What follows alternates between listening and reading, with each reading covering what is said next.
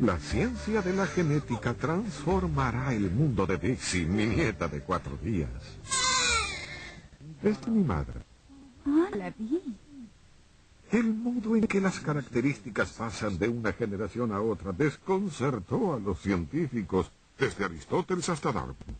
Quise descubrir cómo se resolvió este enigma.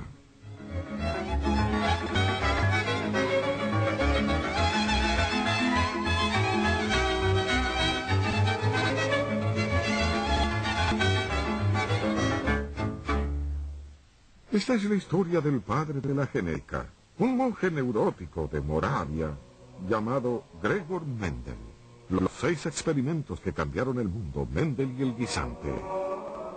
El extraño guisante en la valla.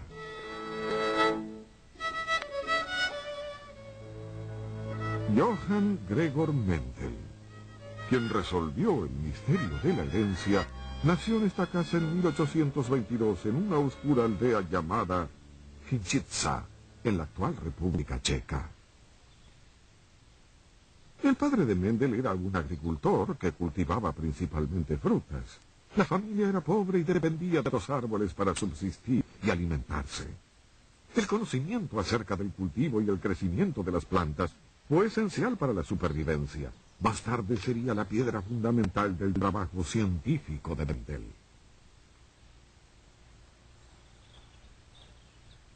Mendel era un niño extremadamente brillante. Ejercía una terrible presión sobre sus padres, que habían ahorrado para poder enviarlo a una escuela decente. Pero el dinero era una preocupación constante, y Mendel, que era un joven perceptivo, advirtió el esfuerzo.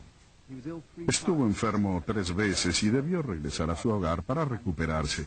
Es evidente que estas enfermedades eran psicológicas, eran crisis nerviosas. Y creo que al vivir y estudiar lejos de su hogar, sintió una gran presión para regresar. Él debe haber sido muy obstinado y a pesar de la crisis, se obligó a sí mismo a continuar, a continuar con sus propias ambiciones. Al finalizar su adolescencia, el desastre golpeó a Mendel. Su padre quedó inválido en un accidente en la hacienda. La tradición exigía que el hijo ocupara el lugar del padre. Pero el joven Mendel era demasiado delicado y enfermizo para ser bueno en la dirección de la hacienda. En cambio, tomó una decisión determinante. Así lo expresó él. Me resulta imposible continuar soportando este esfuerzo. Me veo obligado a ingresar en una estación de la vida que me libere de la amarga lucha por la subsistencia. Solicité y recibí la admisión en el monasterio agustiniano de Santo Tomás, en Brno.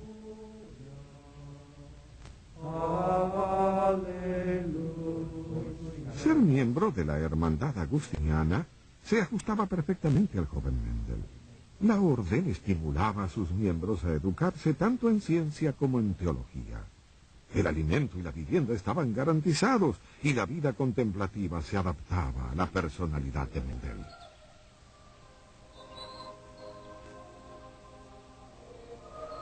Otro rasgo del monasterio era un pequeño jardín botánico.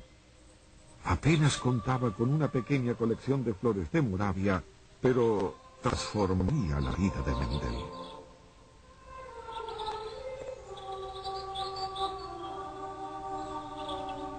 Y él dijo, En mi tiempo libre me ocupo de la pequeña colección botánica del monasterio. Me volví tan adicto al estudio de la naturaleza que no ahorraré esfuerzos para llenar los vacíos en mi conocimiento. Mendel se interesó cada vez más en la variedad de la vida. ¿Por qué las especies eran diferentes entre sí? ¿Y qué tenían en común los miembros de la misma especie? De pericos y pelados. En los días de Mendel había conocimientos acerca del esperma y de los óvulos, pero no había forma de explicar cómo se combinaban para producir la siguiente generación. La teoría de la herencia más popular sostenía que durante la concepción la madre y el padre se fusionaban, por lo que los hijos eran una combinación de ambos. El profesor Steve Jobs uno de los mejores genetistas, explica por qué teoría de la fusión era tan atractiva.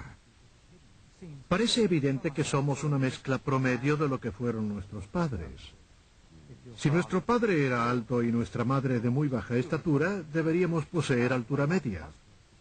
Tal vez por la mezcla de sangre o de fluidos todos crean que es así porque es obvio, obvio e incorrecto. Este tipo de cosas acerca de la fusión de herencias son las que preocupaban a los agricultores y a los criadores. Y aquí tenemos el caso clásico de la oveja negra dentro de una familia. Sí. Aquí están los dos padres, bellos y blancos, o color crema porque casi son ovejas de ciudad. Y eso es lo que produjeron, algo totalmente diferente. No hay forma de obtener una oveja negra combinando estas dos, pero pueden estar seguros de que ascendiendo en la línea familiar hallarán otra oveja negra, y si continúan lo suficiente aparecerán otras más. Pero ¿cuándo se puede retroceder hasta llegar a una negra? Lamentablemente no mantenemos la genealogía de las ovejas, pero podrían ser dos generaciones, diez, cien. ¿Realmente? Surgen de golpe y vuelven a desaparecer. Pero no se relaciona con las combinaciones. No podría funcionar así. Debe haber algo diferente. Otro problema de la teoría fusión reside bajo mi sombrero. ¿Cuándo comenzó a perder el cabello? Sea honesto. Em, em, em, 17, 16. ¿Y lo perdió todo hacia los 23 o 24? Ah, no, no, tuve un poco hasta los 26. Oh, los 26. No quise ofenderlo. Digamos que tal vez algún día usted tenga nietos. Y es muy probable que alguno de ellos, eh, diría que definitivamente sería así. Alguno de sus nietos eh, será calvo. Quienes defendían la teoría de la fusión no pudieron explicar por qué mi tipo de calvicie, aquella que ataca temprano, a menudo aparecen hijos de padres con cabellera completa, o cómo puede crecer una nectarina a partir de una semilla de melocotón, o cómo dos pericos azules pueden aparearse y producir un hijo blanco. Esas regresiones desterraron la idea de la fusión, el modo en que los padres podían producir hijos que no tuvieran que ver con ellos, pero sí con un antepasado distante. Había algo y se necesitaba un genio para descubrirlo, y ese genio fue Mendel. Hacia 1850, los deberes pastorales de Mendel llevaron a enseñar ciencia en la escuela de Bruno. Anteriormente, su curiosidad científica lo llevó a Viena, donde estudió física, matemática, botánica e historia natural. Mendel mismo pronto se encontró enseñando falsas teorías de herencia como la de la fusión. Los planes de estudio incluían la antigua idea de que cada esperma era una persona completa en miniatura y que los óvulos le brindaban alimento. Aquí, hasta los niños de 12 años de edad señalaron las fallas de esta idea. Un hijo podría tener los ojos de la madre y ser varón. Posee parte del padre y de la madre, así que esa idea no puede funcionar. ¡Wow! Ven aquí arriba. Ven aquí. Vamos, arriba. Eso es, vamos arriba, arriba. Que sea una verdadera celebración, ¿eh? Ponte aquí. Deseo que sostengas esto como si fuera algo glorioso, ¿eh? Esto es como un premio, ¿de acuerdo? Tiene futuro, como científico. Un aplauso, por favor.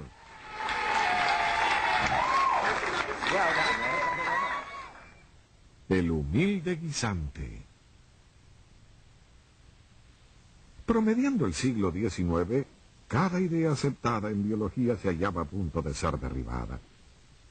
En Inglaterra, Charles Darwin, recién llegado de su viaje a las Islas Galápagos, desarrollaba su idea de la evolución por selección natural. En tanto, en Bruno, Mendel se embarcaría en su propio viaje, uno que explicaría algo que Darwin nunca pudo.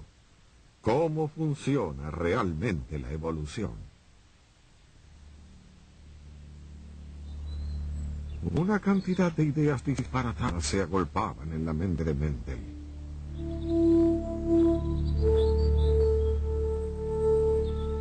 Sus observaciones del mundo natural lo conducían hacia una revolucionaria forma de pensar sobre la herencia. Supongo que él no partió de biología, sino de la física, de la física y la matemática. El tema es que en matemática no hay fusiones sino números. Y Mendel obviamente era un matemático muy competente.